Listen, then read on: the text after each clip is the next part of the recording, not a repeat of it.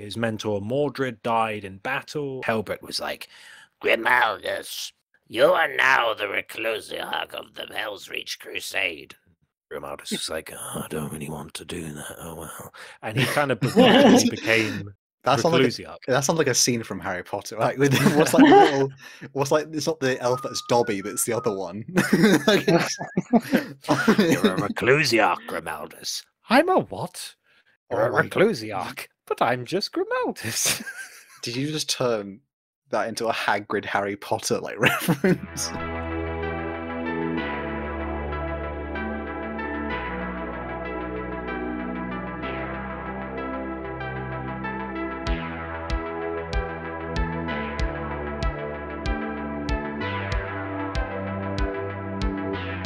Hello, everyone, and welcome to another episode of Lorecrimes. This is the podcast for beginner to expert for all the fans from just starting out in Warhammer all the way to those dedicated originals. This is the perfect place for everyone.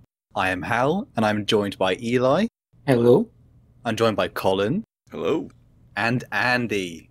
Hello. We're all respective YouTubers within the Warhammer space. And I pass over to Colin. Today, we are going to be talking about everyone's favorite, maybe not everyone's favorite, but enough people's favorite, Space Marine Enough. chapter. The angriest fellas on the block. Hate everyone. They're uh, sometimes a bit rude, but that hasn't stopped everyone from loving them. We're the not Black talking about Templars. Yeah. Black no, no, how dare you. And the Black Templars. today, it will be Andy and Eli uh, taking the wheel. So why don't I pass it on over to Eli to take us off? Thank you, good sir. I will be doing the beginner section of the biggest chads in the entire Imperium. Uh, yeah. Theocratically correct in all ways, shapes, and form. Anyways, let's about get into it. Let's get into it. So, the Black Templars are an Imperial Fist successor chapter created in the Second Founding, which was the founding in which all of the first successor chapters were created, alongside the Crimson Fists and the Soul Drinkers and the other guys. What's their name? Oh, executioners. Oh, yeah, okay. Anyways, they were created out of uh, necessity more than anything else, as Dorn, being the Giga Chad he is, was a big denier of the Codex Astartes, but was being branded a traitor, and there's going to be civil war, and it's going to be really, really awful. So he gave in and he made his successor chapters. Uh, they are perhaps direct evidence that the Emperor has achieved godhood, as you will discover his blessings upon them are very real indeed. Lorgar was right. Anyways, Oh, no. I'll say that. First Captain Sigismund uh, was given the chapter. He was, to my knowledge, this might be a lore crime, I might have read this wrong, but he was the first, one of the first Chad believers of the Lectitio Divinitatus, the little pamphlet that said the Emperor's God, pretty much. Um, along with this, he had a few issues in the during the heresy in his time, controlling his zeal and emotion. Which I mean, as an Imperial Fist, you're supposed to be very stoic all the time. You know, very cool, very calm, and overall, Dorn had pretty much disowned him for this, saying like, "You are no son of mine," all that stuff. It's very Um, but anyways. moment. Yes. Very sad. And Sigismund was the leader of the Sword Templars of the Imperial Fists, and pretty much acted independently during the Siege of Terra, just going around killing everyone. He was pretty pretty cool. He beat Kharn even. Uh, anyways, Hmm. Dorn made him the first ever Emperor's champion, giving him the Black Sword. He would later be given the duty of High Marshal to the newly created Black Templars chapter. And this new chapter was given all the most zealous and vicious fighters of the Imperial Fists.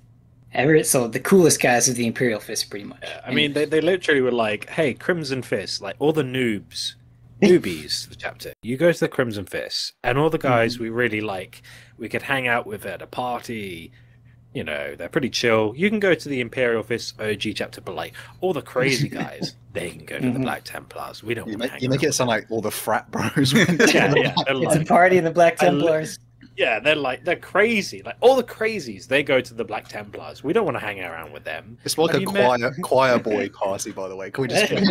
Hey, Have you met Deacon? Deacon is like lighting candles and doing like push-ups at four in the morning. What is wrong with him? Those are the frat Yeah. potties with the Barty count. Coolest guys. Barty count. all right, all right. So ever ever since their creation, they have been on an eternal crusade, marking the longest crusade in Imperial history. Due to this, they are a fleet-based chapter and are very spread throughout the galaxy. They are not Codex compliant by any means, because the Codex is for nerds, and their numbers have swelled far larger than most chapters. They do have some organization, though, which the chapter is generally separated into multiple crusades, usually around three, give or take, and they're led by marshals who answer to the High Marshal. Their captains are known as castellans and lead the fighting companies of the crusades. They favor fire and close combat, assaulting the enemies of the Emperor with reckless abandon. They are extremely brutal fighters who would make Khorne himself blush. Not only this, but they are highly honorable as well, in some people's opinion. Maybe not the Xenos that they're slaughtering, but I mean, you know, those are Xenos anyway, so. I quite right, like this. right uh, now. I, I quite like this. Um, it sounds like a dating profile. you know, they are so zealous. Make Khorne blush. Oh man, I love this is it. Emperor E Harmony, but Emperor Harmony. Anyway. Jesus E Imperium. Imperium. There you go. they hold very much a large amount of disdain for stealth and long range tactics, and suicidal charges of vengeance are not an uncommon sight within the chapter. And due to their very large numbers and their constant replenishment rates, uh, they can usually afford to employ these tactics. Their recruitment process brings individuals in known as neophytes, and these new recruits must serve on the front lines alongside a veteran if they are to fully ascend to the ranks of the Black Templars. It is dangerous and often fatal, but those who survive will have been baptized by fire, and their courage will be proven. So they don't just start out as fresh little babies. Hmm. Straight, in, straight into it. Yes. The Templars abhor mutants, which includes Psykers, having none in their ranks but for astropaths and navigators. Um, but they do not actually hate these specific Psykers because they think that they're blessed by the Emperor. 'cause- Yeah, there's there's a weird discrepancy where they, they don't like librarians, but for some reason they're like, oh, astropaths, they are they are linked to the Emperor despite all the incest. Like, yeah, they're fine, it's okay. Astropaths being the, the ones with the third eye in their Yeah, the- literal the one that- forehead, and they help Yes. if, you guide. look, Uh, if you look into it, like you're going to have a seizure. Um, they're like, that's fine, but no, the rest of you guys, oh, not a fan. I do have a small question. Say if Mhm. you know they say that they despise mutant. Like, up to what level would say? Say if someone perhaps had a organ such as a pancreas Oh, no. that maybe Oh that no! maybe did not I- work. I mean, I mean, well, that- they, that- uh, that's, that's not a mutation. That that's that's more of like a thing. They'd be like, brother, I will graft you some new organs, and I will put you into the ceramite of the Imperium or a Oh. dreadnought. It's more of if if if Colin grew like a pancreas out of his head. That, that might be God, some I'm problems. Bang! Dead. Yeah. Mhm. So- wow, wow. They would, they would, they would kill me for being a mutant just for being weak and needing, needing, needing medicine to live.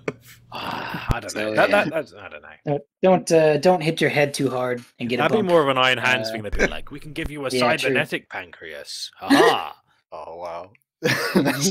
Or the Eldar Iron simply sing also one into existence. Oh hey, no, no, no talking about. Yeah, this is Black Templar Day. I'm sorry. I'm no sorry. More Eldar. I'm sorry. Yeah. Dirty Xenos don't get to be living around here. Got bullied. they, the Black Templars are very good at bullying Xenos and mutants and people who look Oh, different yeah. than them. I think we'll de- we'll debate that at some point. I think. uh, anywho, uh, I'll read their creed, I suppose. Their creed is I hope I'm not stealing a quote here that was going to be used later, but it's suffer not the unclean to live, uphold the honor of the emperor, abhor the witch, destroy the witch, and accept any challenge, no matter the odds. Exactly. We'll go into those specifically later, but for now, that's a good rundown. it's a good way Yes. to uh, establish the mindset. hmm We'll Yeah. read them out in specific detail. It'll be fun. Hmm swear. Where is our where is Big Boy Sigismund now? Well, unfortunately, during the first Black Crusade, he tragically died at the hands of Abaddon the Despoiler. Spoilers for later on this this video. Sorry, uh, Spoilers not. the spoilers. Spoilers. Yeah. Uh, he did he, he he did put up a good fight, um, and he probably would have won if it were not for the powers of the Chaos Gods. Plot armor.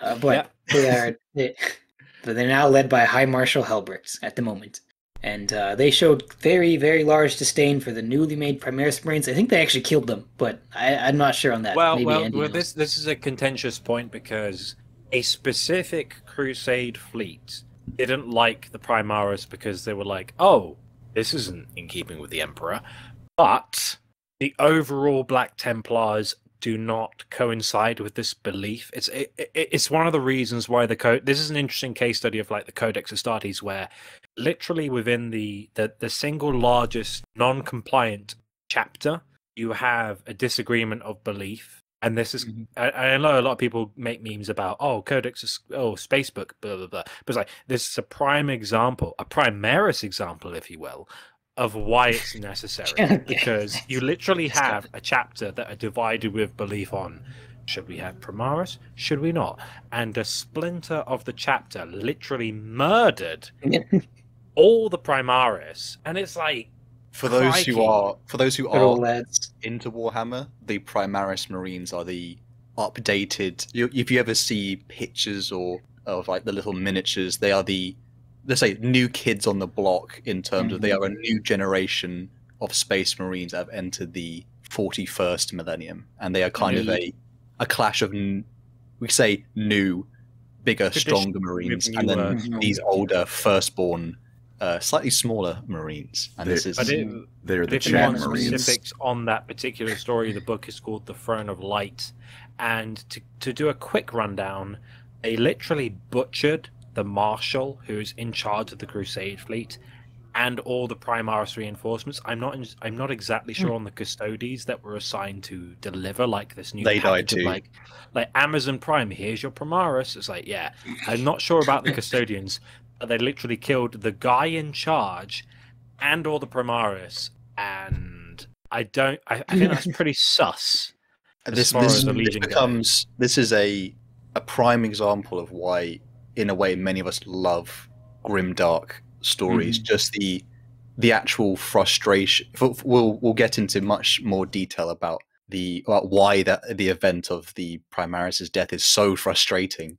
Um but it's a it's a it's a fantastic kind of insight into this chapter's like z- just utterly zealous beliefs that they they will m- murder uh, their own their Brethren. own their own brethren, and it's a Mhm.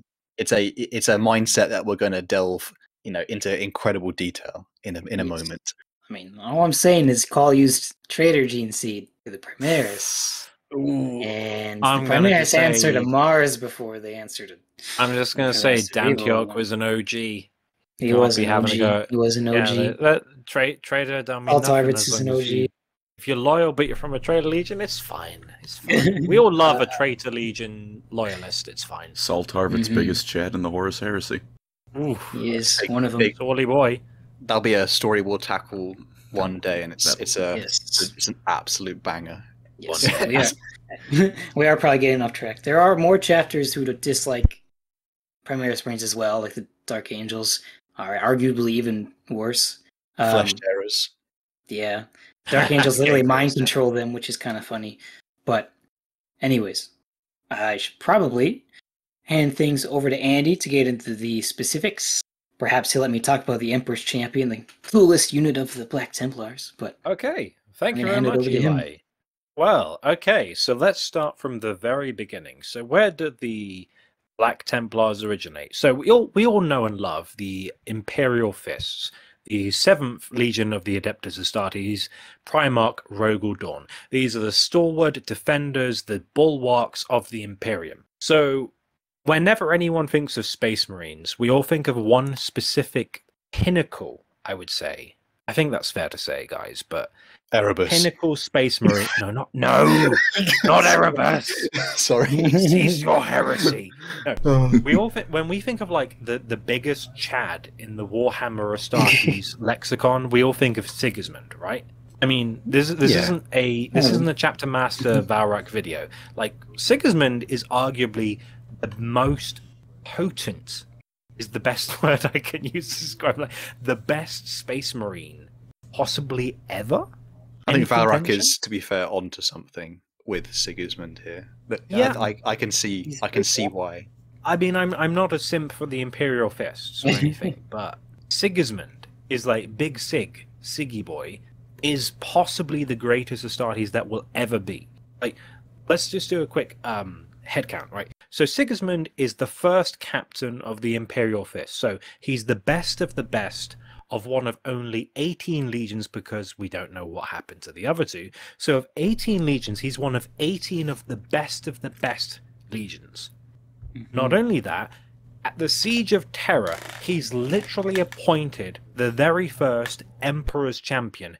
Literally, when Rogal Dorn, Sanguinius, and the Emperor of Mankind himself go to attack Horus Lupercal on the Vengeful Spirit to end the Horus Heresy, he is appointed as the Emperor's shadow. He's appointed as the single most important combative figure on Terra. Like, there's no one else who has that pedigree other than a Primarch. Like, Primarchs could probably, hey Siggy, smack smack, clapped. But But that's a Primarch. Sigis, as a Yeah. Primarch, yeah. And so Sigismund is he has a well deserved, pretty much. Un, other than I'm sure the Night Lords fans are going to go, oh, Jago Sevatari. He's like, no, no, no, doesn't count. But like, other than them, Sigismund is pretty much the undefeated Astartes. So what they do at the Siege of Terra is they give him a panoply of war, which is white and black. It adorns him with the uh, the the Templar Guard. So he, he literally has the same color scheme as the ecclesiarchy, although the ecclesiarchy doesn't exist at this point to that extent. But they literally say you share the same color scheme as the chaplains of the many legiones Astartes.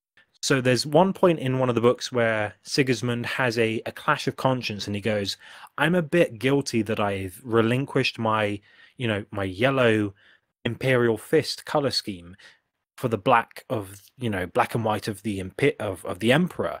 And the ecclesiarchy the the chaplains say you bear our mark so you're the closest to the emperor of anyone else.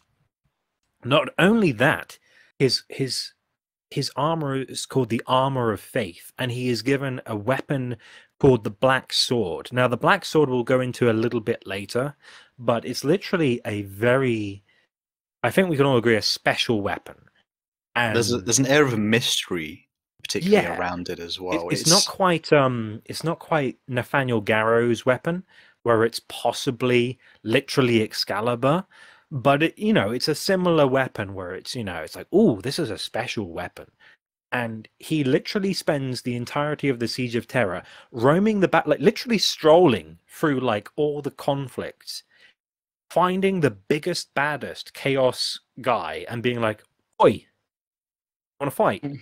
and that's Sigismund. He literally kills dozens of Chaos champions during the Siege of Terra and beats them all without breaking a sweat. This is the guy that basically he he. Well, I think uh, was it Hal you mentioned earlier. He clapped Kharn in the new I think of that Terra was. book. I think Eli mentioned yeah, he, that. he beats Eli Kharn. mentioned. Warhawk. Yeah. Warhawk spoilers. Sorry, but yeah, well, well, tough. It's like there's a lore crime right there. But like he claps Kharn the Betrayer, the most vicious Astartes that's ever lived. He literally holds his own against Jago Sevatarion until he cheats. He's arguably a better swordsman than Corswain of the Dark Angels or Raldoron of the Blood Angels. He is quite possibly the best, quote, mortal warrior in the Imperium. I think I um the part I enjoy for if someone if anyone is semi new to Warhammer, the the the reason that Sigismund is truly held in such I think maybe to all of us in such high regard is the fact that Sigismund, although he has been transformed into an Astarte, and so he's been given new organs, so he's obviously been upgraded. He is utterly human. He has he is not a psyker. He is he has nothing truly special about him other than the skills that skill. and other than what you and I would have access uh, something that developed over 200 years of war during the Great Crusade. It's entirely him. So you're saying it's the he's the personification of finesse. It's just yes, he would have done great in the knows- Emperor's Children. Oh, he's disgusting, man. Get out of here. Um, but no. So yeah, right, let's let's continue before any more heresy occurs. So You could say he's the So Phoenix Sigismund- Lord of the Black Templars. Oh, God, God. I can tell this is going to be an ongoing problem, isn't All right, it? right, right, right. Come on, calm down, calm down. So, Sigismund is clapping traitor forces left and right during the Siege of Terra. Oh no, Emperor of Mankind has been mortally wounded by the War Master, but big ups, he has just killed the War Master. Big win. So, the, tr- the traitor forces flee to the Eye of Terror. The loyalists retreat and they fortify the throne world. Some are a bit late, like Guilliman and the Lion, and everyone kind of pulls their resources and they go, "What do we do now?" Now, most there, there's a brief point at the end of the Horus Heresy where pretty much all the loyalist le- legions go and pursue the traitors, and they try to destroy as many as they can before they escape. But some of, pretty much most of them at this point that remain from that point escape into the Eye of Terror. And as we all know, the Eye of Terror is not a understandable commodity. It's a tricky place to even observe. So pretty much all the loyalists go, we've driven them back to the Eye of Terror, job done, and they retreat. But not Sigismund. Sigismund literally waits. And whilst Roboute Guilliman drafts the Codex Astartes and says we need to like consolidate the legions so that they aren't these massive war machines that are beholden to only their Primarch, such as Rogal Dorn, who is, of course, the Primarch of the Imperial Fist. Side note, um, Rogal Dorn wasn't a fan, as, as I think we've mentioned briefly, of the uh, the Codex Astartes. He said, oh, you know, this isn't a good idea. But he had to relent when basically his forces possibly almost started the next heresy. And so he went, oh, okay, hold on. My own forces have assaulted and destroyed Imperium forces in a naval warfare situation. I'm kind of in a bind. I have to comply to the Codex Astartes. But Rogal Dorn would draft the Last War Protocol, where he would have all his successors um, come to the aid of a centralized authority if they needed it. Either way, the main point is, like we said before, Imperial Fists. They're broken down into OG Imperial Fists, Crimson Fists, the Executioners, which is the chapter master of um, what's his name, Rann. Fafnir ran. Fafnir Rann. Fafnir Rann. I actually I did check. We did commit a lore crime. Uh, executioners are third founding. Oh, Oof. balls. He was Okay. just soul drinkers and crimson fists. Well, the thing is, Fafnir Rann served during the Siege of Terra, so I think in Yeah, my he's heart close he's the enough. second founding boy. I love Fafnir. He's got a It's, great. it's a, it, we'll, we'll leave it as a lore crime, I think. Yeah. That's our third law things crime. happen. But yeah, so so let me just uh you can confirm this, Eli. So we've got Imperial second founding, we've got Imperial Fist as a progenitor, then we've got Crimson Fists are the most Mhm. youthful, um, most kind of naive of the Imperial Fists, and then we have the think so. Black Templars, who are the most pious. Is there anyone I'm missing? Soul drinkers, those cool purple guys. Soul drinkers. Oh, of, of course, right? Yeah, they're a whole other topic. We'll talk about that. That'll, that'll yeah, have to soul be its own video. Mm. Were they, weren't they? Um, okay, well, either way. So the Black Templars are formed as a chapter, and they are formed of the absolute most zealous, pious, and let's not forget Sigismund himself when he was on Terra met Euphrati Keeler, who was a remembrancer, who was the quote first living saint of the Imperium, who who worshipped the emperor as a god and saw him as a divine entity. And Sigismund himself had a clash of conscience where he said to his Primarch Rogal Dorn, um, so I saw two futures where one I would die hopelessly and one I would be a martyr. And I don't really want to like attack Horus during this big expedition. I'd rather like stay on Terra for my own like selfish pride, I suppose, and be a martyr. And Primarch Rogal Dorn was like, Excuse me, is that religion I smell? And for a while, Rogal Dorn really distrusted Sigismund. He saw him as a a remnant of a bygone age. However, before the Siege of Terra, he realized Sigismund is my top boy. He is literally my best warrior. He's literally faultless as far as loyalty is concerned. He should be the quote Emperor's champion. And of course, Rogal Dorn is stricken with grief at the end of the Siege of Terra. He's literally the one who who carries Sanguinius's dead body to Terra after the big big attack on the uh, the invincible re uh, not the invincible reason that's Dark Angels Vengeful or Spirit. the uh, vengeful spirit of Horus Lupercal's flagship. He literally carries the angel's body to Terra to be interred within a golden sarcophagus, and he also observes his gene his own father, the Emperor of Mankind, interred upon the golden throne. So he's pissed off, and Sigismund shares that anger because he's literally been loyal, he's been true to his cause, and no matter how many champions of chaos he kills, he's still not done enough in the eyes of the emperor. So Sigismund, unlike all other successor chapter chapter masters, he waits outside of the Eye of Terror. He literally just kind of stays there and watches until one day this guy called Abaddon the Despoiler comes Boo. out the Eye of Boo! yeah. until this guy called Abaddon the Despoiler comes out the Eye of Terror, and Sigismund's Sigismund's got a fleet ready, and he goes, "Gotcha!" and he goes and attacks them straight away. He boards their vessel, and despite being really good at combat, he's now about a thousand years old. He's waited so long, he's become old, and because of the warp's trickery and trajectory is messing with time. Abaddon's still pretty much in his prime, plus he's been empowered by Chaos Undivided. So Sigismund and Abaddon duel.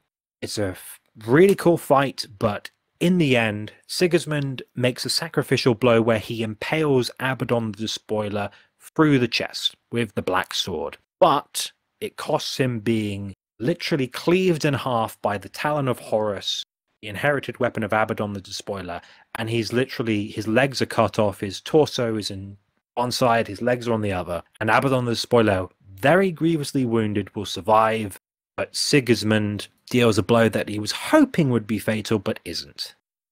Do you remember his um his his last All right, words as well? I haven't Oh, got a script in front of me. Let me see if I can. I do- It. I- I, I do think have I- it right I- here. I think I All right, let, let me let me let me see. I haven't got a script in front of me. Let me see if I can do it. I'll do Go it 'cause ahead. I did I if Eli has it as well. Okay. I think. There we go. You will die as your weakling father died. Soulless, honorless, ashamed. Oh, I it was forgot one of the lines. Forgot one There's word. a line between them. But yeah, he literally stabs him through the chest. weeping. I think is Weeping. Weeping. Weeping. honorless, weeping. weeping, ashamed. It's Yeah. such a. It's it's. I I. If anyone has um seen uh spoilers for some of the uh books, but um, it's such a fantastic moment of what I particularly the, the part if you are new to Warhammer or if you're an existing fan of Warhammer, there's something about the transformation of Sigismund from this um just stalwart man who wavers uh unfortunately and then he finds that like, we said earlier the strength. He, he he becomes renewed when he dawns the black and he becomes i think my favorite part when i was um looking into sigismund and you, what you learn about him in the the book warhawk is his the inner transformation of him is the beginning of the black templars and it's Mm. something i think it was um it's in his if anyone here has i don't know if it was exactly in his uh, fight with kharn but the man sorry if i'm taking too much but uh, it's a it's a fantastic moment if anyone wants to read it and it shows you exactly like his sort of inner transformation and then his kind of venom at the end at abaddon is Mm. just so Mm. satisfying Yeah, and and is, is, is and to be fair to Abby, to our boy Abby Abaddon, um, he kills Sigismund, and he literally puts his body and the black sword into a coffin of sorts and sends it to Holy Terra when he exits the Eye of Terror. And inscribed on the sword, I believe he says, "We are coming," which is the dawn of the Black Legion. So yeah, like Dick a Moon- huge moment It's in awesome. Warhammer lore yeah, and it's like Abaddon, oh, dick move killing Sigismund, but at least he had the honor to not be like, I'm just gonna like impale Sigismund's body on the back of my, you know, Desecrate power pack. him. Yeah, I'm not gonna hmm. desecrate him. I'm not gonna like drag him through the streets of wherever I live, Peckham possibly. It's like no, it's like I'm gonna just like I'm gonna send him back respectfully because he attacked me as a warrior and he did a good like anyone else impaled Abaddon the Despoiler through the chest with like several inches of the black sword? Don't think so. Phrasing. yes. Very intentional phrasing. Gotta gotta give Abaddon credit too. That's probably the most metal way you can give a message if possible. Mhm. Yeah. Here's While, your whilst putting a band-aid on your like impaled chest, like, oh, I need, some, I need some painkillers. it's truly a it's a worthy he, he you can tell it's particularly within the warhammer setting like chaos is just it's obviously the bad guys they are so evil but to show the amount of respect that sigismund had earned in his i guess a thousand is he is he a thousand years old by the end I think he's about. I think it's the thirty-second millennium. So he's a he's close to, if not a thousand years old. So he's not in his prime. He is an old Astartes. He is yeah, his, not. his body has been wrecked Yeah. by a thousand years of war and he's still he's still almost won and he doesn't And, have um, go ahead, the, sorry, oh, go so ahead. he doesn't have the chaos power juice, whatever, keeping Juice, him yeah. powerful and yeah, young. he doesn't have He's that. just- that The um, warp steroids. yeah. he's on the roids boys He's on the roids. it was great. And that you're Eli not was like, Abaddon "Yeah, the boys." Despoiler. oh my god So He's- so before um before I continue, um, would someone like to read a quote from the Black Templars? sure send us over one Okay, so um, Colin, you you, I think this is one for you. So Ooh. here is the from the Library of Devotion. Would you please read this out for us? I would be happy to. Oh, this is a hell of a quote. very shakespearean go for it When there, where there is uncertainty, I shall bring light. Where there is doubt, I shall sow faith. Where there is shame, I shall point atonement. Where there is rage, I shall show its course. Where my word is the soul, shall be as my bolter in the field. Man, That's that the is of Devotion. they are pretty uh i get you can imagine that's probably chanted a thousand Mm. times Well, it's, a- it's funny you should mention that because um, the the Emperor's children. Uh, they are shit. I, I did a bit of a Freudian slip. oh, no, he, boy, he like gets too Uh-oh. excited. Uh-oh. Uh oh. because here's here's what I was going to say.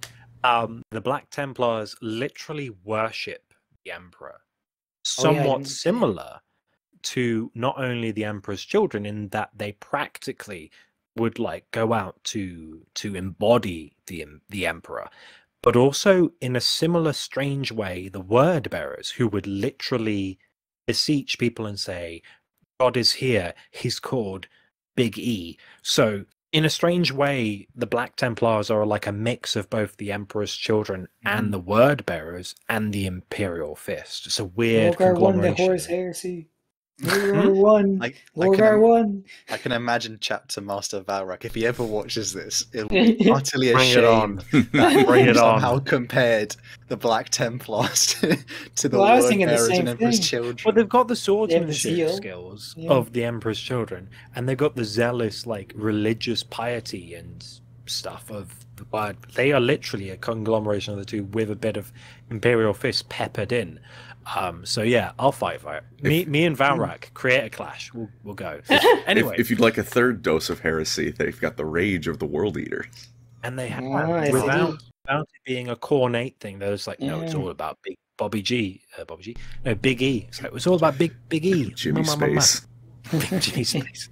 Um, so yes, and and as you say, the the the Black Templars are experts at melee combat. They love a good sword. They love a good like. They're not really like axe boys. They're not really chain blade guys. They like a good rigid power sword. Like here is a sharp blade. Stick it in the enemy. Yum yum yum. But they also not to the same extent that the salamanders love a flamer and much to the chagrin of salamanders board game players they have the new updated flamer model so there is that Mm. as well um but yeah they're they're a fleet based chapter. So the interesting thing about the black templars in particular is you know how i said about how they kind of bend the rules of the codex astartes? They literally bend it into like a unicycle. Like they bend the rules so much they're like oh a thousand astartes in a chapter. Well how about our chapters quote are crusades? So records vary some believe that there are only 6000 black templars. Some believe there's 16000 either way they're taking the piss. And the way they get away with it is they say, "Hey, Bobby G, Roboute Guilliman, we have a thousand Astartes per crusade. So each crusade has a thousand Astartes. Let's say they have four crusades going on at one time. That's 4,000 Astartes. That's four times the manpower of any Codex compliant chapter. And the most conservative estimates suggest that they have more Astartes than the two main non compliant chapters, which are the Space Wolves and the Grey Knights. Like, literally, feral dog boys or demon killers of the universe. Like, those are who you up against. Like, those guys. And you have possibly more than both of them combined. That's a big chapter. To be fair, to be fair as well, though, it, uh, so in a way, you're more likely as a imperial citizen on any world to meet. Like you're you're Yeah. you're probably it, the to to say meeting an Astartes is rare within the Oh. Warhammer universe. We're talking about you know was it a million worlds with Mhm. I think at the estimations, people. yeah, with trillions of people, the the absolute rarity, they, they are truly the Emperor's angels in terms of they are. It is like seeing an angel. They're literally like on the posters pointing, going, I want you to kill Xenos. Like they are the Mhm. poster boys because they're the most numerous. the, the the idea of it being the, it, the most likely chaps, the most likely Emperor's angel that you'll ever meet is this enormous, you know, dawned in black armor, just utterly, extremely zealous Mhm. marine that is just Mm. I am, I am utterly, you know, the Emperor is in fact a god. I am completely Yeah. devoted, and I am who's literally like, Have you prayed five times today to the Mm. Emperor of Mankind? No. I'm gonna kill my you. sword. Time to get stabbed. Yeah. Yeah. I've reserved a bolt shell just for you, heretic. And and the thing is that the zeal- the zealotry does get in the way to an extent. Like to give you an idea, like we we all know about the Death Watch. So the Death Watch is the the the kill teams of the Ordo Hereticus, which specifically go out into the universe to destroy aliens, and they draft Astartes from every chapter of the Adeptus Astartes.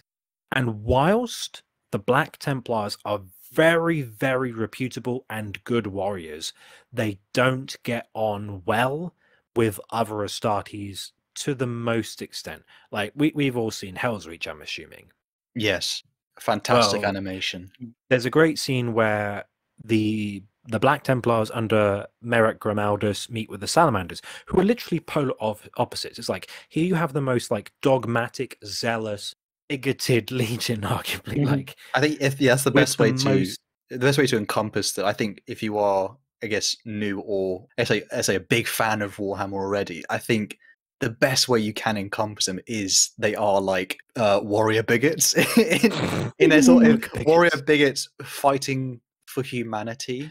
And they're Uh, literally yeah. having a discussion amongst themselves of like the salamanders, they're saving civilians. Madness. And it's like, yeah, the nicest legion with the most like quote unquote evil legion of the Astarte. Although I think uh, people say that as a meme, but I feel like uh, what they called the um Marines malevolent. Marines Malevolent are worse. Oof. Much I love you. Dread Anon. If you're watching this, I love you. We love you, Dreadanon. We love you. Um, but yeah, so basically, yeah, they they don't get on well with like librarians in the Death Watch. They don't get on well with a lot of things, but they are very good warriors. Um, they used to, and here's the here's the interesting thing: when the uh, the Black Templars were founded, they did have librarians, but over time they've just sort of disappeared and no one can exactly point out why but one of the reasons that's pointed to is that um, when the emperor of mankind said hey edict of Nikaea no psykers when black templar historians look over the past they've seen that and they've said oh that's a holy edict. That's literally our god saying you cannot have psykers in the codex astartes or in the legion legiones astartes therefore God has literally told us no librarians. And that's one possible reason.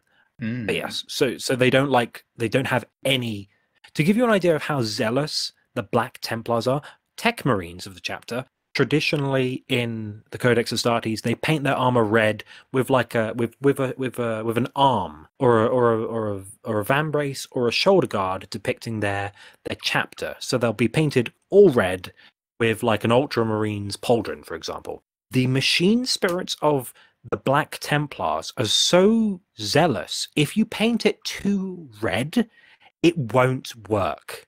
the armor will literally say that's mm, that's heresy, and it will literally not function if you paint too much of it, not in the colors of the Black Templars. That's the that's like the kind of the thing that makes Warhammer almost so unique is because of for the, if you are new the the warp itself that kind of mirror dimension of madness the the, the sentient thought realm that lies I guess side by side with uh, our own its belief manifests within Warhammer. So the Black Templars almost like when we when we speak of machine spirits we literally think the actual machine the Black Templars believe so zealously in I guess the purity of their own armor that it's therefore to to color it is therefore almost like heretical. It's it's on the edge of heretical, and it manifests within the universe. Like the like you said, the armor may not work, which is insane. It's almost it's un- unbearably insane. Oh, I, I have a quote that might be uh, good for that. Uh, Colin, do you want to read this one as well with your sultry voice? Oh, why not? Man, all of the Black Templar quotes are just metal. Mhm. Uh, any, metal. anyway, as our bodies are armored with adamantium, our souls are protected with loyalty. As our bolters are charged with death for the Emperor's enemies, our thoughts are charged with wisdom. As our ranks advance, so does our devotion. For are we not space marines? Are we not the chosen of the Emperor, his loyal servants unto death? This makes me think back of when I would narrate church plays. Maybe the tone was a bit different. the, tone, the tone was a Yeah, little bit more uh, forgiveness and uh, for, yeah, that kind of thing. That, um, just thinking, Eli, do you want to read this one as well? As Got you loads wish, of quotes Lord. to get through. Where there is uncertainty, I shall bring light. Where there is doubt, I shall sow faith. Where there is shame, I shall point atonement. Where there is rage, I shall show its course. My word in, in the soul shall be as my bolter in the field. From the I think we Library read that one already. Oh, sorry. Oh. double double serving. Fred. Double down on the on the uh, on the uh, devotion. Now, how is a Black Templars chapter divided? Well, before we get to that, let's just say their battle cry is no fear, no pity, no remorse. They are a fleet based chapter, so unlike most chapters of the Adeptus Astartes, they do not have a homeworld. They literally live on their main ship. And their main ship is an interesting one because it is called the Eternal Crusader. Now, uh, for anyone who enjoys Primarchs, I think that's all of us. Yeah, yeah, Big pretty much everyone, yeah, who doesn't? every one of the 20 Primarchs was gifted a Gloriana class battleship. The only things bigger than this are the Abyssal ships from the Emperor's Children and the Emperor's own flagship and the Phalanx. So, like, these are pretty much, with a couple of exceptions, the biggest void ships in the Imperium. And there was one or two, depending on the Legion, for every Primarch. Now, when the Emperor found Rogal Dorn on his homeworld of Inwit, he met Rogal Dorn, and Rogal Dorn was like, bruh, I've already got this massive pre Imperium ship called the Phalanx or Phalanx, and this ship is massive. So massive that to this day, the Imperial Fists use it as their base of operations. So, like, the Phalanx is arguably the biggest ship in the Imperium. So, in that regard, Rogal was like, hmm, I've already got a flagship. I've got these successor chapters. I love you, Siggy. Here's my Gloriana class flagship. So, the other than the Ultramarines who have the Macragge's Honor, which is Roboute Guilliman, the Primarch Roboute Guilliman's flagship, the only Legion, not Legion, the only chapter who has a Gloriana class battleship in service in the current day 41st millennium is the Black Templars. They literally have the joint well, joint second biggest warship in the Imperium, plus a bunch of bonus ships just in case they need them. So this kind of makes sense later on, but like, would you like to hear some of the names of the other ships they have under their sway? Is it going to scar my dreams? Like, if it go so. go for it, go for it. I want Right, to hear so- these. so- Okay, so here's one. One of their biggest, like these are kind of like their biggest ships, other than the Eternal Crusader. So number one, abhorrence. Well, just that. Just Uh, abhorrence. That- that's it. Jesus Christ. Oh, Another one, Revenant, Light of Purity, Hammer of War, Divine Fury, and this one's quite nice. Uh, they also had a ship called Blade of the Seventh Sun. I'm not sure if that's an Iron Maiden reference, but Blade of the Seventh Sun, the Black Templars had as like a strike cruiser. And when they helped the Celestial Lions during the aftermath of the Third War of Armageddon, and the Celestial Lions were decimated, which are also a successor chapter of the Imperial Fist, they were like, bro, you can have this ship as your flagship. And then that's now, I think it's still in operation, that's now the Celestial Lions flagship. So that's kind of nice that, like, even though they're like xenophobic, murderous, nasty boys, they still have some kindness in a way. Well, their, their honor, I would say honor, wouldn't Yeah. they? They have honor for their brothers in a sort of, um, yeah, yeah, that sort of respect between fellow warriors of the Imperium, but everyone else can get shafted, I guess. well, so so to give you an idea of, of how uh, they're they're organized, so every company is formed into fighting companies. Uh, so to give you an example, every fighting company is given a unique name.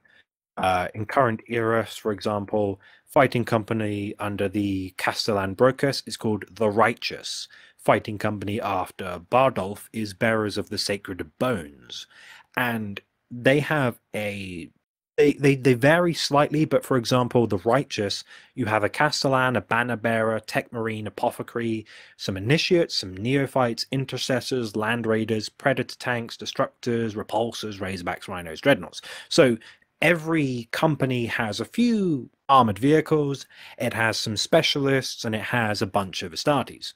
Now, you also have, um, for example, uh, the training worlds. So the, the, the Black Templars go through a lot of Astartes. That's more an than most. understatement almost. yeah. Yeah, Oh my like- god.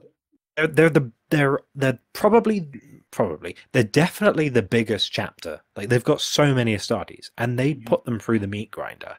Uh, and so, unlike because they're a fleet-based chapter, they don't have just like a world like like the Blood Angels have Baal, the Space Wolves have Fenris. They don't just have like a world where they just go go back to this home world and get them. So they have training worlds, and so when they conquer a world, they appoint a, a Castellan, which is the equivalent of like a captain of the chapter, to to keep and ward over the keep that they build on the the, the conquered worlds, and they recruit from there. And to give you an idea, the the training worlds that we have on record are Barbarossa Four, Cloister Pokemon, um, oh my god. Fergax, Killhaven. I like the sound of that. nice. Lilia Mundi, Purgacious Free, and Solemnus. And here's the thing though, like when I when I when I was reading up about the, the Black Templars, I- I've never really found like um very sufficient reason why this makes sense, but according to what I've read, they only selectively recruit. So maybe it's just because they have so many worlds, but according to what I've read with sources, they literally have aspirants compete to be the new Black Templars, and then they only pick a select few of them. So from records, it says we own the Black Templars are like we only recruit a couple of initiates a year. I'm like you, mm, you churn through a lot of Templars. Like how I would how- I would surmise that because when we say like when we talk about Astartes within Warhammer, we forget how they are utterly like the they are literally the one in the million in Mm. terms of yeah, and it's it's always you know the amount of the absolute tragedy of when even just one dies is because the amount of resources and training and They literally have a million wells. Yeah, like- I suppose and so. well, it's also yeah a million if you have over a million you know the Imperium the vastness of it and you know a million worlds they can almost afford to be that selective because the you can imagine like just to live up to for each neophyte joining this you know this legion I guess it's almost like a legion at this point is there well this Mhm. chapter they have to they are essentially embodying who Sigismund you know all the way back to the beginning of them they are trying to embody that level of superhuman you know not necessarily superhuman but that level of the cut above the rest and so therefore I could I could imagine why the uh, selection process is so just I guess short and it's so um, Hmm. hard to get in because you you really you really need the you're you're trying to make you know the greatest, the most zealous, the most you know tactically gifted. I can imagine that They want being you know. Go ahead, sorry. Go ahead. they want the cream of the cream of the crop. If there's any sign of weakness, you are you are not allowed into the Black Templar Club. I imagine they probably kill the other recruits too who don't make it. Because it's Warhammer. I don't know if that's true, but it's I don't know. Warhammer. I've not heard anything. It's not like Iron Hands where it's like you're a servitor now. But like I, maybe I'm not sure. it's- I feel like it would be a, too much of a waste. I, they probably become like serfs because like l- learning of like uh, is it Kaleb Arin who's in the Death Guard during the Horus Heresy. He fails to be a Death Guard, so he becomes a chapter serf and he becomes Nathaniel Garro's um like uh not his ward where he, he, he yeah he's like he looks after his weapons and stuff. I don't know about that in regards to uh, the black templars but like yeah maybe. Uh, all i do know is that every recruit in the aspirants that exceeds they have to be approved by the keeps castellan and the chaplains and the apothecary. So they're like okay are they faithful enough? Are they healthy enough? And do they have the fighting spirit? And then every aspirant who becomes a part of the Black Templars becomes a neophyte. And there's a weird ranking structure with the Black Templars because here's how it goes. So neophytes, they're the novices, they're untrained. Their pauldrons are blank white with the uh, the the heraldic cross. That's all they have. Every neophyte is mentored by a battle brother of the Black Templars. So they go into battle as a pair and the the the so-called initiates, the rank and file of the Black Templars, tutor them and mentor them in battle. Now, if a neophyte dies during the trying, the the initiate, the the mentor, will avenge his death or die trying. And if the initiate, aka the mentor, dies, then the neophyte will be tutored by another initiate, but will also strive to re- avenge his his mentor. So there is like there's an interesting thing with the Black Templars where when they make squads, they're not divined by a captain. They literally form bands of like friends or comrades, and they like they go. I like to fight with say say let's say we were Black Templars, and I was like, oh, I want to fight with Eli and Colin and Hal. I'll go and join them. That's how they decide how to do it. They don't have overarching structures. They go, I like to fight with so and so, and they form like a band of brothers from that, which is quite interesting as a as a an Astartes Legion uh, chapter. It makes It's quite interesting. um, yeah. So go ahead, Colin. so it makes me think of the first year of high school, going, "Where am I going to sit? Where, where am I going to sit at lunch? Who am I going to sit with?" the poor new guys, in the Black Templars, like, "Who are my friends? Who do, what's my clique?" Do I have to start? Where's my new slang? to start fitting in as quickly as possible. Well, the other interesting thing about the the Black Templars is they have no sergeants. They do not have anyone in charge of each squad because they they function as a cohesive whole. Um, the only promotion from neophyte to initiate is Sword Brethren, and Sword Brethren is basically the first company. We're talking about the elite company, the first company, the best of the best. Every crusader host obviously has their sword brethren but it's a very high honor. Like for example uh reclusiarch grimaldus of the black templars was the youngest ever astartes to ascend to become a member of the sword brethren. But other than that the only rank after that is castellans which are the equivalent of captains or company leaders and they lead the the uh, the 100 strong 10 different squads per crusade host. So if you have, uh, say, um, a, a thousand Astartes in a crusade, the Castellans, there's 10 of them, they lead 100 Astartes each in the battle companies, and they're led by the marshals. Now, the marshals are in charge of each crusade. Buck stops at the marshal. I'm leading a crusade, shut up, I'm in charge. That's the marshals. And in charge of all of them is the High Marshal. Sigismund, who we spoke of earlier, was the first High Marshal, which is the equivalent of Chapter Master of the Black Templars.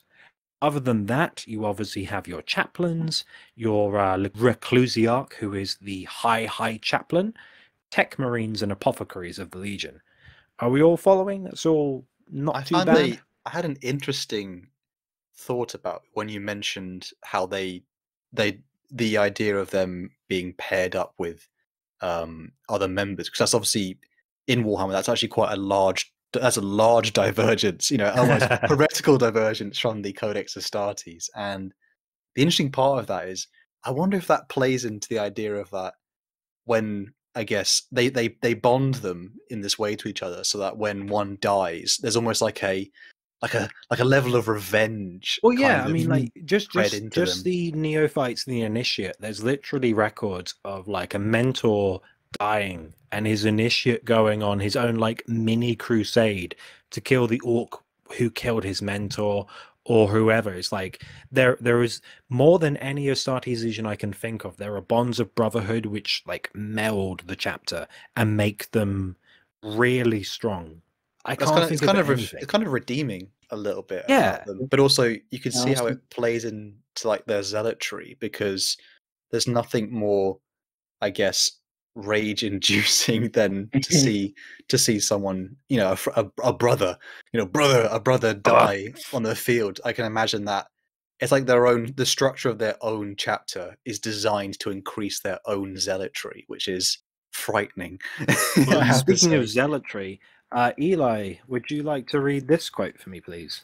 Yes, sir. Let a wave of repugnance from the enemy wash over you. Let hatred fill you. Hate is good, for our goal is a human galaxy. We are called by the Emperor with a sacred duty to conquer it in his name. From So Mr. that- Grimaldus. That's our boy Grimaldus himself. Like, yeah, he's like, yep, it's just Let- about us. What's it? What's that thing from where it says "Let the hate flow"? It kind of Star flow Wars. it definitely touches upon that idea. I think it's it's almost because um the part I always loved.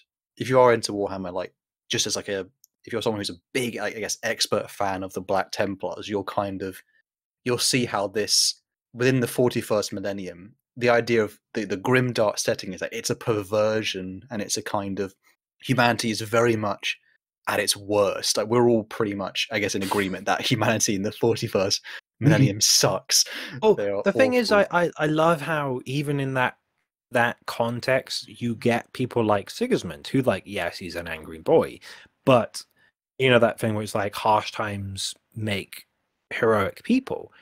In a weird way, there are elements you see in the characters of Warhammer 40k where you go, oh, they're like from a deplorable chapter and blah blah blah, and yet they have qualities which are really mm-hmm. admirable. You go, they're loyal, they are like courageous they are so and, and that's the weird thing about 40k i suppose where you go wow this character is really cool and likable ah but they live in 40k like, yeah you understand what i, I think um, I think the interesting part of it is the black. I, I guess it's the way I've always viewed it, and I can sometimes see why. If you ever spoke to someone who is a like a huge fan of Black Templars, they're kind of they've become the warriors that this disgusting uh, modern timeline needs them to be. Because Hmm. when you are truly facing against, when when we say the word nightmare, like I don't think that even like the, No. the word nightmare doesn't it doesn't our, our, we can't register how awful Like the Tyranids. truly is. even like chaos as well uh, poor, you know good old Mm. eli with his chaos you, know, you you disgusting both man. like emperor's children. guys. i know your game no no. Eli, eli you're too nice to like Empress children. You're too nice man. That's Um, what I've been told a lot of times. yeah, yeah. Canadian sensibilities. Um, but i think Uh, I think I like the idea of them being they are when you're like fight it's why the idea of like Sigismund fighting Kharn is so almost poetic is because the the the, the beautiful I guess for me the beautiful thing about uh the siege of terra in particular itself is that I, I cannot for the life of I, I try to remember Kharn's famous large words to Sigismund I think it was I'm not as broken as you yeah. because I think it was that reading it is- the other day. Yeah, that's exactly it. it's a it's a fantastic line because it shows you like e- even my point is will be about how the modern day black templars have changed but the the idea is like sigismund himself was you know 200 years on the great crusade and his you know in his good old yellow armor and he was kind of a stalwart man. And then when we reach the end of the Siege of Terra, he is just this. He he is he's become so hateful that he turned into something where he was almost apathetic towards the end. It was it what it's um I don't know what's it's like the uh he reaches like that Zen moment in um what's the uh, Siege of Terra book? Is it War Warhawk? Warhawk. Yeah, he And, um, scares Kharn. Kharn is like worried about him, and it's a, it's a, such an interesting um, part for if you are a fan of the Black Templars, you can kind of see how the the the hate hate is almost like again like many things in politics itself. It's like a cycle, Mhm. and it comes all the way back round, and then Sigismund. I was- saying I will speak about the World Eaters in a second, but continue what you're saying. Oh yeah, say uh, Sigismund. He becomes so hateful that it turns into cold apathy, where that cold apathy is almost it is it's where the it's the beginning of the corruption of the uh, Imperium because it's it's a it's a corruption where it lies in I'm apathetic to these people and it's based on a, this is the beginning of I guess the religious sense of Mm. it. Not that always that is evil, but it's that nice twist where they they he Sigismund doesn't hate at one some point chaos because they are so far beneath him because he is so zealous because he is so zealous that he Mm. cannot hate something so minuscule and it's like it, it's a nice contrast to see the Mm. the modern templars which are almost like they're not quite at his level yet but they're like they're, They're, on get- that they're path getting there. It makes me think. Well, in... Oh. sorry, Colin, you go. I Go have, ahead, Colin. okay, this is a really. uh, it's an anime comparison. I, I, Oh I my love God. it. Oh. It's, it's, I feel Drag- like it's Dragon Ball. It's Dragon Ball. It's I I a Dragon Ball. nice speech I made a fantastic no, speech there Ball. Like, You did. I'm sorry. I'm sorry to follow with this. It's, it's Dragon Ball. If that helps. no do it do it Uh, it's in one of the newer movies. Do you have? Okay, so you know Vegeta. The I don't Hell know yeah. how much. Yeah, it's Vegeta and then Frieza. It's in the one movie where Frieza comes back. Frieza is just Yeah.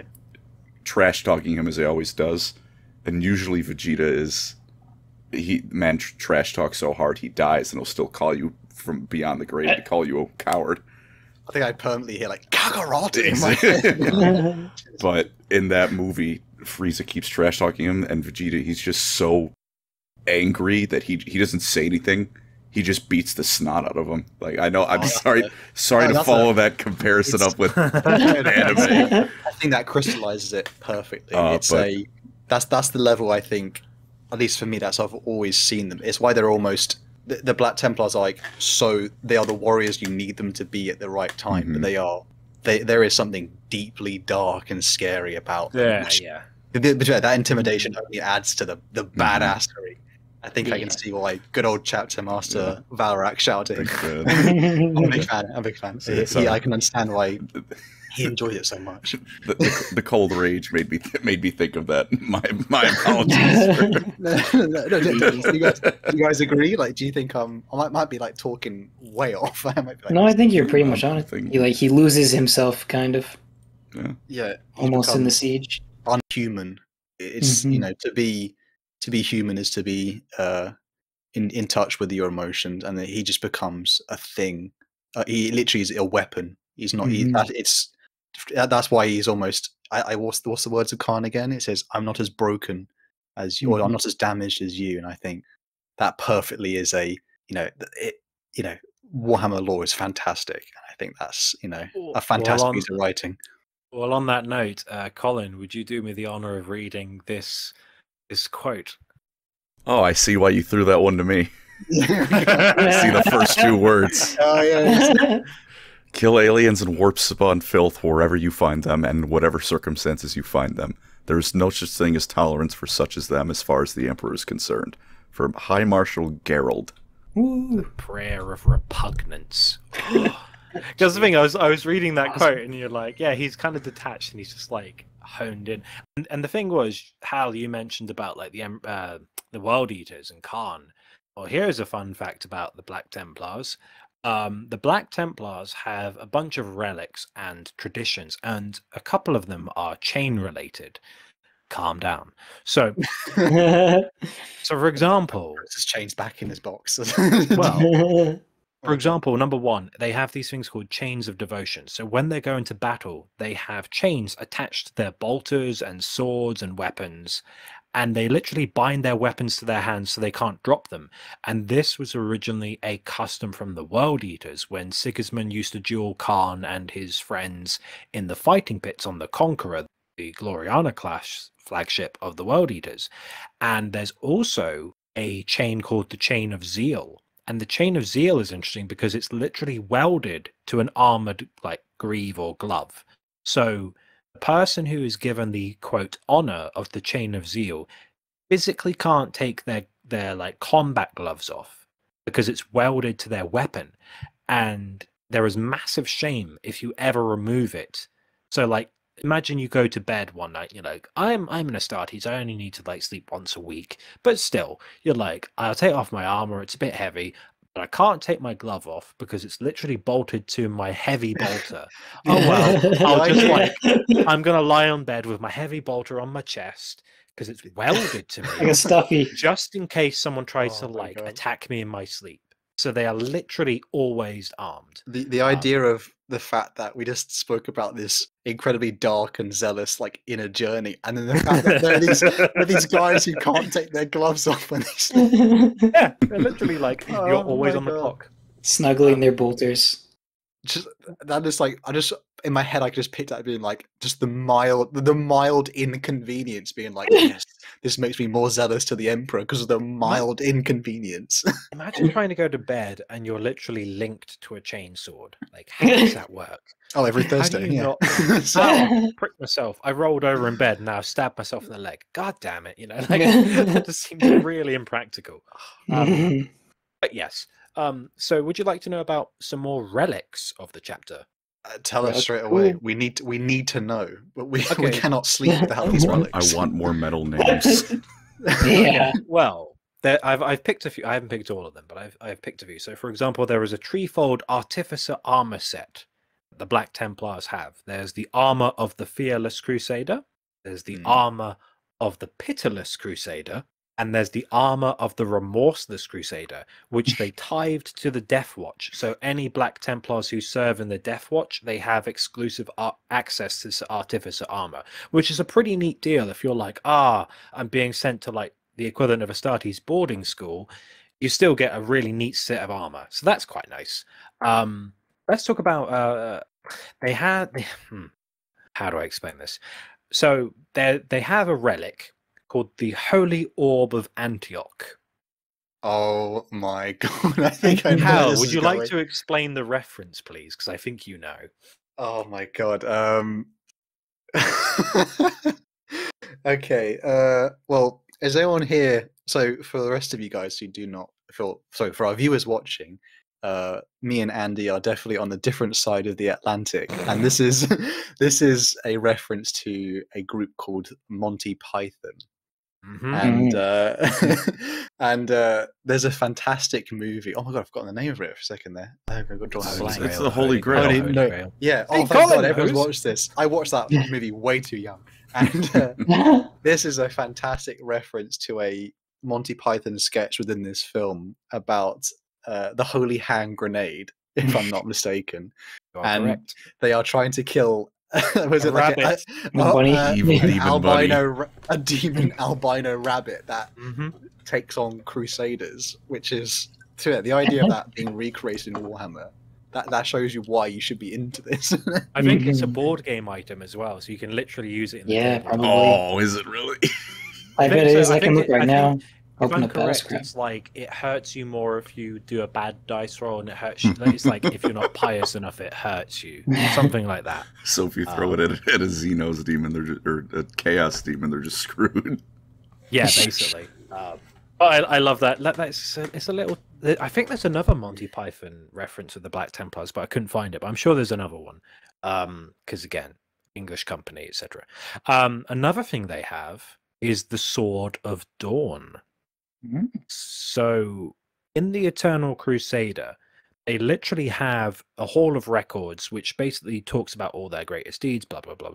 But they also have this massive vault of relics. And one of those relics is the Sword of Dawn. I believe it's the Chain Sword of Dawn. I might be mistaken. But it, I think it's literally the sword that you see in all the pictures with the chain blade and blah blah blah. And it's broken. But the interesting thing is the the chapter when they elect a high marshal, they give them a weapon called the High Marshal, the Sword of the High Marshals, and it's forged from the broken fragments, or some of the broken fragments, from Dawn's personal sword. So that's kind of cool. Hmm. Um, and it's always literally used as a badge of yeah, it's like a badge of office for the um the the High Marshal.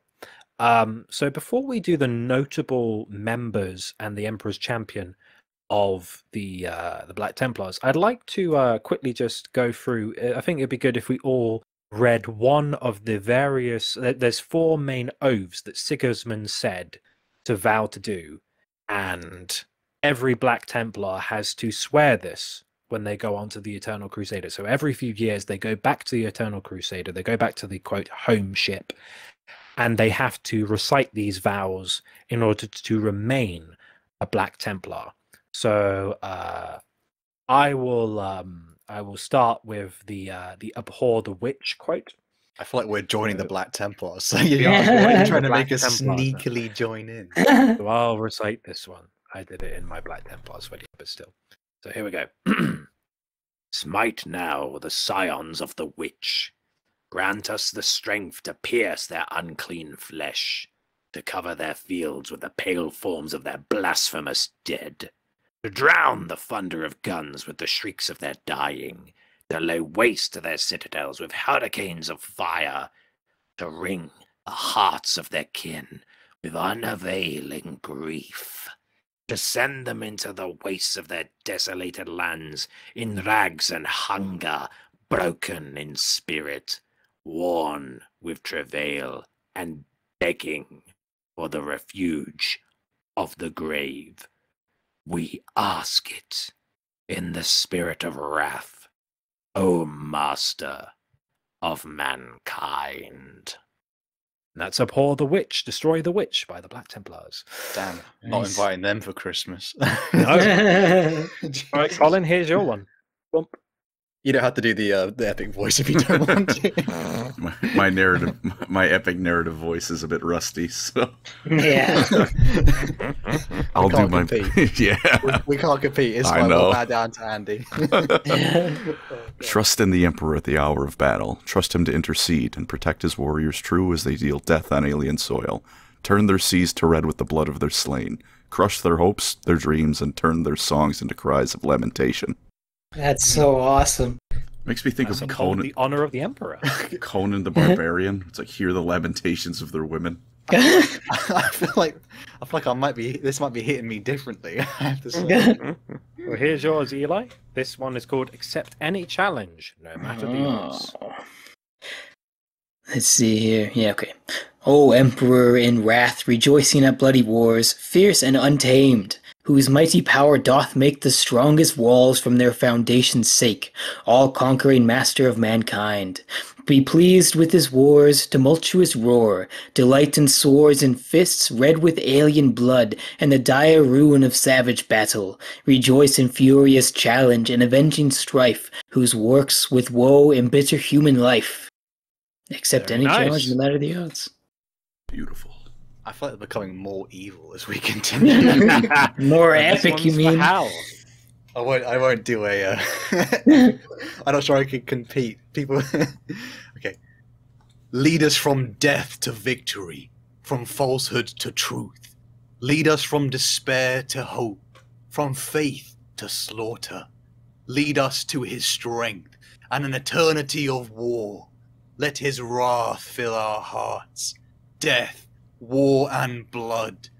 In vengeance serve the Emperor in the name of dawn. Suffer not the unclean to live. Oh, a little bit, a little bit harder towards the end there. I have to say. There They're so go. awesome. I like that. That was good. I'm not actually a voice actor, so Neither am please be kind if anyone comments. well, that was nice, and and yeah, uh, mentioned in that last, uh, I think it was Eli's bit where it's like, you know, it's worth noting that like the Black Templars have literally been at war for ten thousand years. Uh, I don't think I mentioned this before. They literally were like, "Oh, Great Crusade was pretty cool," so now they're like, "We can one up that. We're gonna like launch a crusade that lasts forever." And so far, It's not been broken in ten thousand years. It's Yeah, the, that long- the longest human war in history, you could say. ever. The, long, Ever. the longest war in human history. It's almost frightening, damn. Mhm. 10,000 years. Okay, um, so uh, we're we're pretty much we're already at an hour and a bit. Um, so I think we should wrap this up with some of the most notable people in the Black Templars, if you're happy with that. Absolutely. Mhm. Hell yeah. Okay, so let's start off with um, we've already mentioned Sigismund, so we, we've kind of already talked about him. Uh, Hmm. But let's just say that he, all we'll add to him is that he is revered so much that there is literally a temple in the uh, in the Eternal Crusader alongside Dawn and the Emperor. Like the trifecta for the Eternal Crusader and the Black Templars is literally the God of Man, Gene Father of Man, and the best warrior. Literally, like the Father, the Son, and the Holy Ghost. Like literally, that is the Black Templars to a T. And although the Black Sword, his weapon of choice, was kind of vandalized by Abaddon, saying, uh, "Is it we are coming or we are we're Mhm. on the way?" Uh oh, here comes the Black Legion, whatever it was. Um, they kind of scribbled that off, and they still retain his sword on the Eternal Crusader, which we'll get back to in a minute. Now, we're about to talk about one of the biggest chads in Warhammer 40k. Are you ready? I'm, I'm, I'm Ready. ready. Hit me. Eldrad. okay. Back in your Ah. corner, scum. We're not, we're not talking about those baby elder Apologies. Apologies. Okay, so so we're going to talk about High Marshal Helbrecht. Now, this Ooh. guy, to give you an idea of how important High Marshal Helbrecht is, if you read the ninth edition of the Adeptus Custodes Codex, there is a quote, and I'm about to read it to you. And the quote is called Deeds of Legend by Gratian Artabane, who's a Um, Custodes. a man with an unreasonable name. yeah, I think it's Great Gratian or Gratarion Artabane. Gratian, Um, think. Gratian, yeah, I think it is, yeah. And the quote reads For sixty and three years did I serve as companion, the youngest to ever hold such a position, and thus be named Honored Watchman. So long in his presence, there is not enough gratitude in all the galaxy I could have for the privilege of such a duty. Alas, as with all of the Hetaeron Guard, I could not stand watch over the throne for eternity. I had not the strength. Eventually, I will return and serve longer. This I swear. The Aquilan shield was my calling when I left the throne. For if I could not protect the Emperor himself, I would guard those doing his works. I read the Lictoran rites, took the Varangian oaths, and passed the Baltagic trials. I spent three decades learning of the Doomscryers, how to interpret their words, what to dismiss as babble, and what to accept as truth. I learned of past error, as well as successful protection of my order. Here's the important bit. my first duty while bedecked in the purpurine shades of my host was to shield a denizen of piety, one who was barely adolescent. In the underhives in which he dealt, we preserved his life from afar until the day the Black Templars came and took him aboard their ships. That boy's name was Helbrecht. Literally, the Aquilan Shield, the guys whose whole job is to look out for important people to preserve humanity, found Helbrecht when he was an adolescent Hmm. and protected him because he was important. The actual like importance of that is almost yeah, to say earth shattering is not enough almost like galaxy. The implications of the trusted of the emperor, you know, the custodians to watch over a single you know, in a universe of trillions of people to watch over one person. And Well, saying showed- That boy. with just how goddamn important. I'm sorry. Shit. It's a bad word. no, no, go, it's fine, it's Uh, fine. But it's just how important he's gonna be. Like if the custodians themselves are like, you, I cannot tell you how you're so important. We're leaving the emperor to guard you. That is a Hmm. whole new level of like worth, like worth as a future space marine as a person. I wish the emperor spoke to me like that. you, you are Well- you are so important. I could use the pep talk. well, well, they say this is a this is a Black Templar belief, but it might be true. that the high marshals of the chapter are literally appointed by the emperor himself. And so this kind of bears credence to that. It might just be a coincidence. It's just like he's too he's too important to ignore, but like it bears credence. But Helbrecht, the man himself, what's Helbrecht's deal? Helbrecht is literally the greatest naval commander in the Imperium. Like, we all love uh, Helsreach. Mm.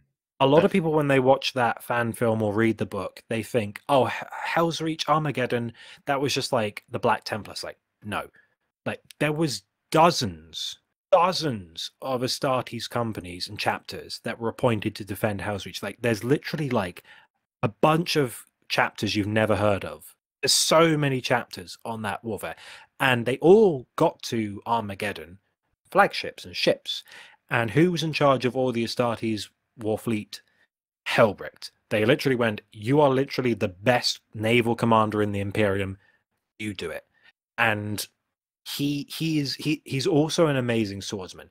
This guy dueled Necron Stormlord Imhotep, like one of the most big daddy Necron energy guys ever. Literally a, And Terminator that doesn't slow down or tire. And here's the thing, the only, and and I this is why I don't like Necron.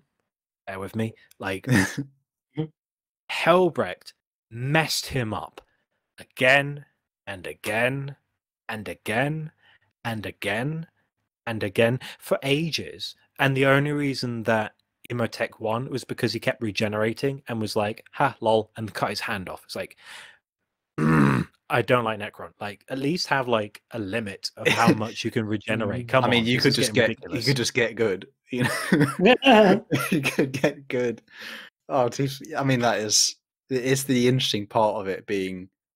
I think it's a the, the the part I loved about this within the lore is like it's a representation of it is a bit of a microcosm between human struggle because human the, the even as you know as mighty as Helbrecht and how talented and how strong he is, he is only he, he is the human whose muscles tire, who's you know eventually he will.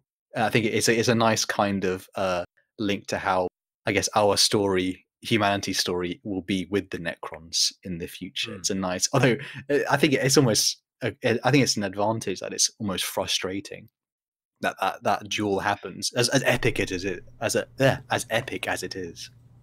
I bet you he um, would have won if he was an ultramarine. Yeah. Oh God! Here we go. Although to be fair, Marneus Calgar got dunked on by Abaddon, so Mm, their plot Although their plot that- armor has been fading. Nice. Although, t- to be fair, Helbrecht lost that fight and such before he undertook the Rubicon Primaris, and now he is a Primaris Marine. So Round, round Daddy two may be different. Now now he's a Daddy weapon. Helbrecht is bigger and better now. He's a- He's. A weapon to bulky boy. surpass Metal Gear now. Exactly. He He is ha- Metal he Gear ma- Rex. He's upgraded. He has maidens now. He's got the sword cleaner guy. Oh, he yeah. had no maidens. Now he has maidens. I wanted, I wanted to say earlier, Eli, if, if, if you fail the Black Templar trials, you, you're the sword cleaner. the sword guy. Did you know that his his um in the tabletop his little like uh serfs actually can hit people? Yeah, yeah. I was looking at his rules. Yeah, They they get have two the extra ability to attacks, at, like strength With- three, with AP like- zero. like with quips. Their hands. It literally with- says their hands. Like What are they hitting with? Like just like insults? Like what Punch good are them. they? They just it's like off. Sword cleaner has punched you. It's amazing. mhm. Um, uh, by the way, uh, Eli, would you like to? I'm about to talk about everyone's favorite Templar, Grimaldus. Would you like to Mm. read uh, a quote before I talk about him? Uh, but of course. To the darkness I bring fire, to the ignorant I bring faith. Those who welcome these gifts may live, but I will visit naught but death and eternal damnation on those who refuse them.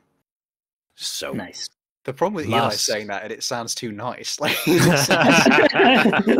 sound you sound too wholesome when you say But you, oh my god. well, everyone loves Grimaldus, and Grimaldus, uh, for anyone who's not some, why are you watching this? If you haven't watched Hell's, like go on YouTube, type out Richard. A- after you've watched this Hell's episode, Reach. No, after you watch this, pause this, pause this, and go search Richard Boylan Helsreach and watch it, and then come back because everyone loves Grimaldus. Amazing. TV show.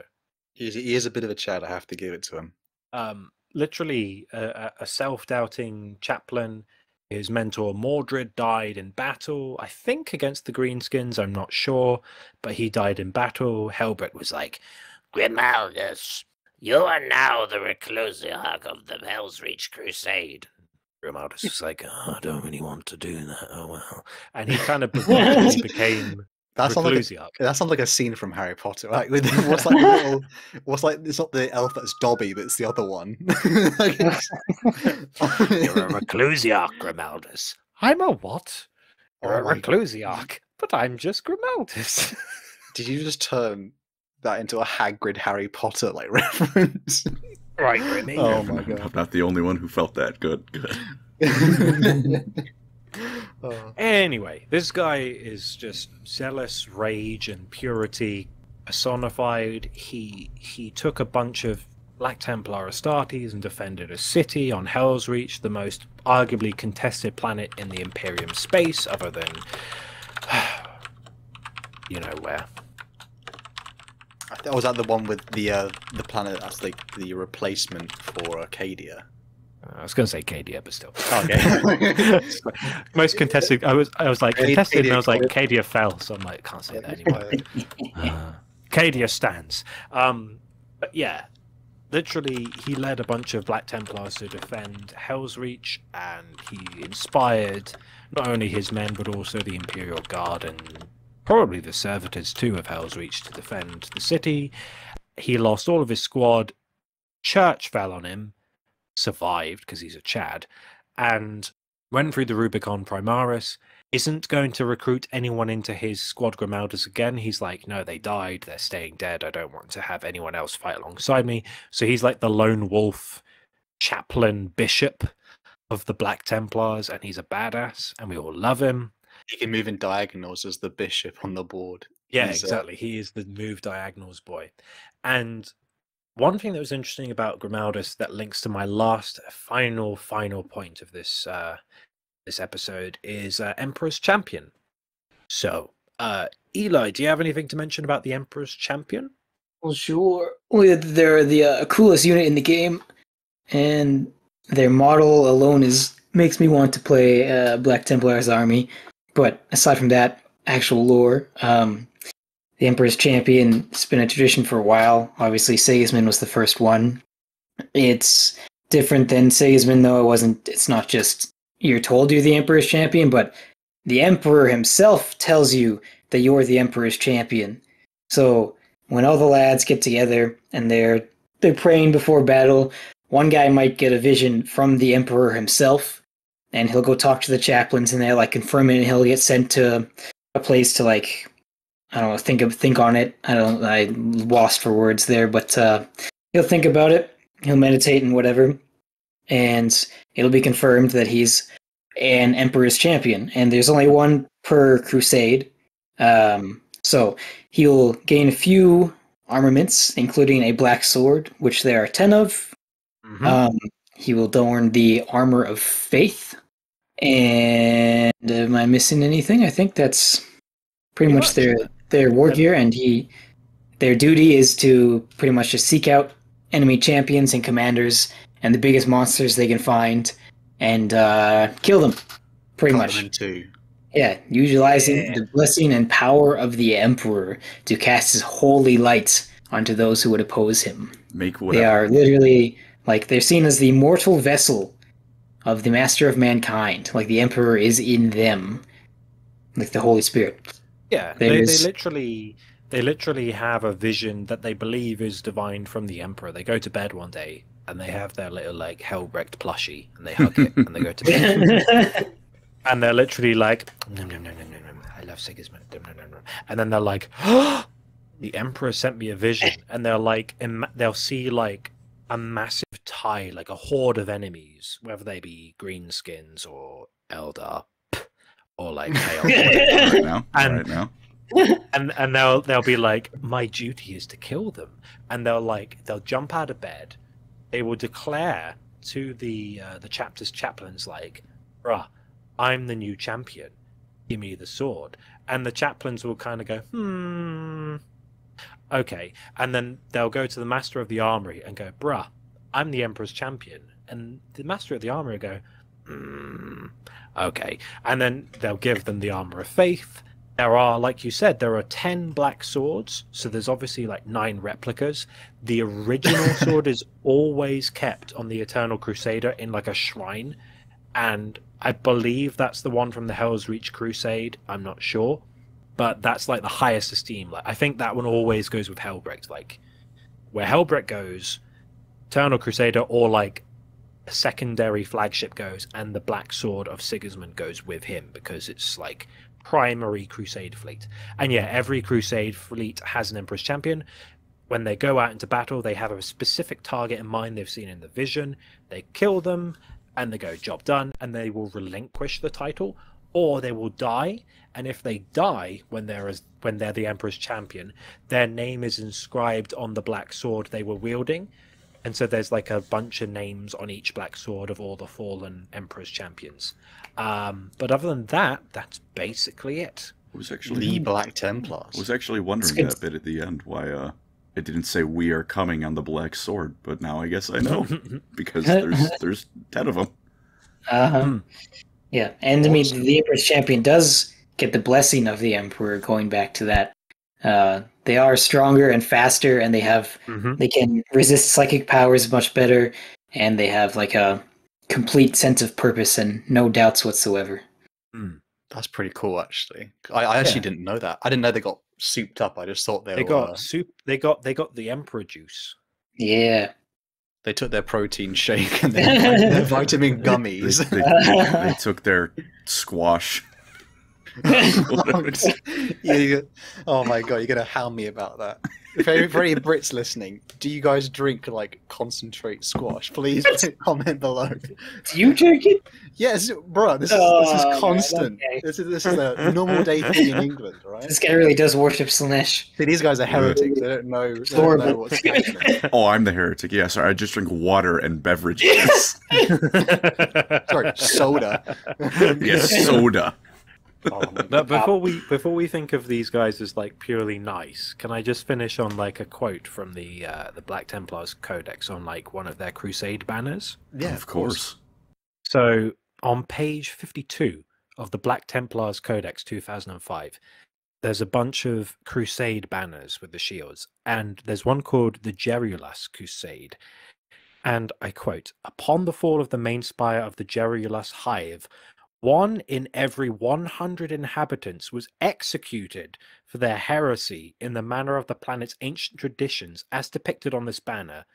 Note, this banner includes the sword emblem of High Marshal Odolus. It's basically a skeleton with like its arms up, looking very unhappy. Mhm. That's the Black Templars. a double-edged sword, we could say. In, you they are they are i- to our modern sensibilities quite horrific, but they are the soldiers you I in mean- the Warhammer universe need. They they are essentially the the fight fire against fire. to be fair, to the left of that Crusade banner, there's the Nimbosa Crusade one, and it's literally a Tau's head on a on a pike. so there's that as well. Natural. And it's like- I- and it not- doesn't not even gonna make- try and defend anymore. I love the shade. It's like it literally says from an expanding empire of a perfidious but technologically advanced Xena race. It doesn't even mention their names. Like it's just some Xenos. I love it. Like It's- not even worth mentioning. wow, that is. Yeah. uh I mean, I love the final face. final thoughts, boys. Uh, quickly going round. Uh, Andy, would you like? Final fi- final f- thoughts on Black Templars? I would say a flawed, kind of evil, but also incredibly fun faction. Especially because they serve my boy, the Emperor. And uh, Eli. They're probably my top three favorite Space Marine chapters. They're Well done. so I don't know. I I appreciate the zeal and the metal and badassery. They just encompass they encompass the grim darkness of the far future so well. And uh, Colin. I uh, I will say I haven't historically been the biggest fan of the Templars, but a lot of that was for meta reasons. Uh, hearing all of this about them, it's you know I'm I'm coming around a bit. I'll be honest. Yay! Uh, I And still, I still like the Lamenters and Ultramarines more. That's uh, fine. They're quite cool. Yeah, I'll I like it. them. They're fine. I like both. So, uh, for people who have been listening, thank you so much for tuning into our, I guess, beginner to expert dive into the uh, Black Templars. They are complicated. Let's just. Thank you so much. Uh, make sure to subscribe and let us know other topics you want to see in the comments below. And if you'd Thank you like to very see much. a video, or sorry, is it right if I just add one thing at the end? Yeah, of course. Because does anyone have a Black Templar video they want to um to to plug at the end? We'll, But- we'll, we'll link them in the description for people. Okay. Check check them out. If, if, if we have a video, uh, check them out. And the uh, all I would say is, I have a breakdown of the Black Templars on my channel, The Remembrancer. Sh- shameless shill. We're, we're all. We're all. Buy some dollars for the Dark Gods merch. say the rest of our channels. We all we all have stuff. Go look at it. Just send me money. Period. Thank you all for listening. Take care, Thank you everyone. very Thank you. much.